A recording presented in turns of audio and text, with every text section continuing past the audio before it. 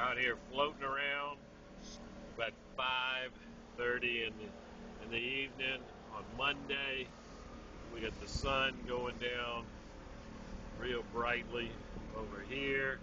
Calm seas, little tequila for rationing, little wine for rationing.